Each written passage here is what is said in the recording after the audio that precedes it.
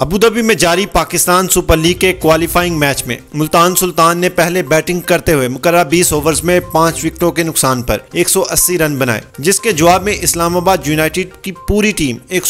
run पर out हो गई दोस्तों शिकस्त के बाद शदाबहान के हवाले से बड़ी खबर आ गई मैच के दौरान उस्मान ख्वाजा ने जिम्मेदारी का मुजाहरा करते हुए इस्लामाबाद यूनाइटेड की जानब ऐसी पचास रन बनाए उस्मान ख्वाजा इस्लामाबाद यूनाइटेड की तरफ ऐसी टॉप स्कोर रहे जिन्होंने चालीस गेंदों आरोप सत्तर रन बनाए और वो आउट हो गए आसिफ अली इमरान ताहिर को बड़ी हिट लगाने के चक्कर में स्टम्प आउट हो गए जबकि हसन अली दास और मोहम्मद वसीम तेरह रन बनाकर आउट हो गए दोस्तों मुल्तान सुल्तान की जानब ऐसी सुहेल तनवीर और ब्लैसिंग मजहर उबानी ने तीन तीन इमरान ताहिर ने दो जबकि इमरान खान ने एक विकेट हासिल की दोस्तों मुल्तान सुल्तान के कप्तान ने टॉस जीतकर पहले खुद बैटिंग का फैसला किया तहम मुल्तान सुल्तान के कप्तान दूसरे ही ओवर में खाता खोले बगैर पवेलियन वापस लौट गए दोस्तों मुल्तान सुल्तान ने मुकर बीस ओवर में 180 रन बनाए यू मुल्तान सुल्तान पहली टीम है जिसने पी एस एल सिक्स के फाइनल में क्वालिफाई कर लिया है दोस्तों शिकस्त के बाद शदाब खान का इमोशनल इंटरव्यू खेलना अच्छा खेलने पर अफसोस है